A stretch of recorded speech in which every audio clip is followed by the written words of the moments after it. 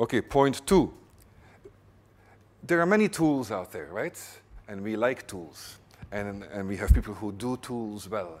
Eh? And we have conflict assessment tools galore. I'm sure many of you have gone, been trained in them and used them from precisely Mary Anderson's Do No Harm and many, many other on. Some of you, I'm sure, have a professionally lucrative job doing those tools. Eh? So do I, for that matter, at times. And the same holds for the right side. At the right side as well, we have good tools. But recently, I was talking to uh, Diana Chigas, who also works actually for Anderson's outfit, and they had done a big research project um, in, in um, Kosovo, Macedonia?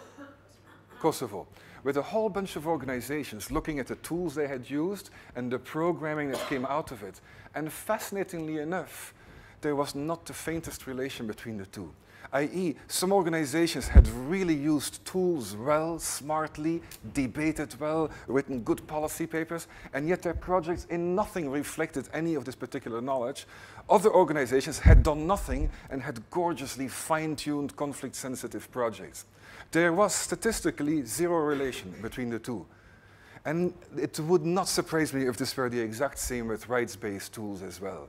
Uh, that there is, as, as it stands now, almost no relation between the use of the tool and the actual outcome. And they don't necessarily explain how that comes, I think. To them, it's still a question as well. And to me, too. I have evaluated agencies who did nothing and who did a great job, who did nothing in terms of using tools, and yet did a fine job, and vice versa.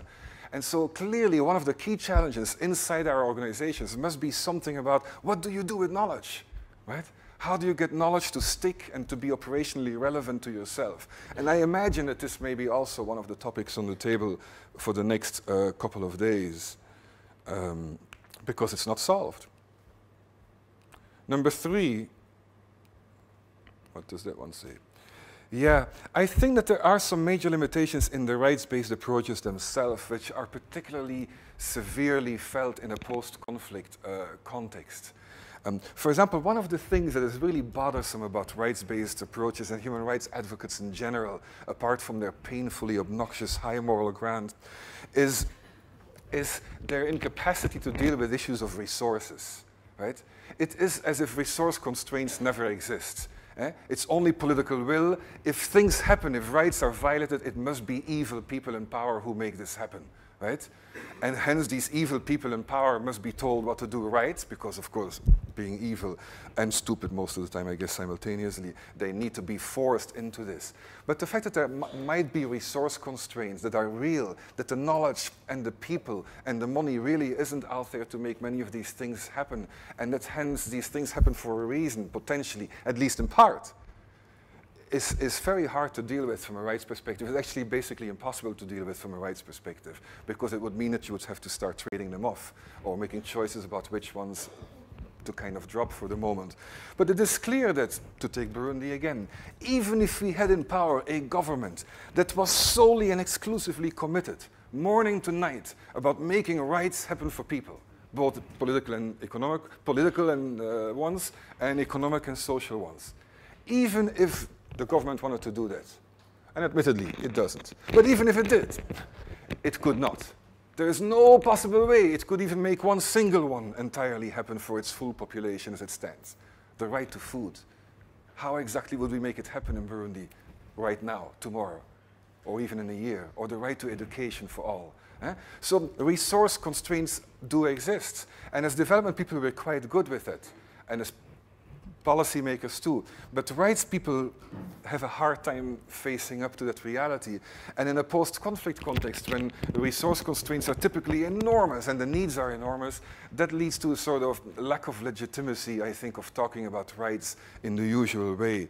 It, it makes rights people sound stupid or naive or simply indeed about high moral ground and nothing else. Governments typically don't appreciate work on rights-based approaches in post-conflict contexts. They might not have appreciated it before either, or during, but they surely don't do it actually afterwards either. I have never seen one that liked it.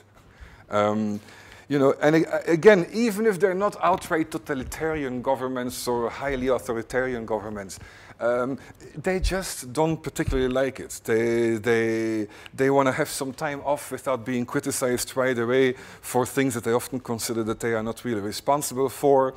Um, they are formal rebels often, or formal, eh? or, or uh, who who really um, are not exactly champions of human rights, and that's not particularly the, the tool that brought them to power either. So it would be unlikely that suddenly overnight this becomes their prime concern. Um, they, they often uh, feel strongly that security is more important concern than, than rights in the short term, and that, uh, that, that uh, strengthening their own control and power over the territory is the most important constraint. After all, the fact that there was a violent conflict precisely meant that there was not a clear full control over the territory. Uh, and so to most of them, having full control and establishing that for sure is absolutely primordial. Um, they, they are often suspicious, if not outright paranoid, about much outside criticism and so on. And so in that particular context, to start talking about rights-based approaches is almost guaranteed to lead to strong backlashes. Uh, um, Rwanda would be, of course, a, a, perfect example thereof, but I think most situations are like that. So while on the one hand there's a space there, on the other hand there is often violent counter-reaction from the powers that be, and you risk creating quite a lot of trouble for yourself, which often is not something you particularly desire.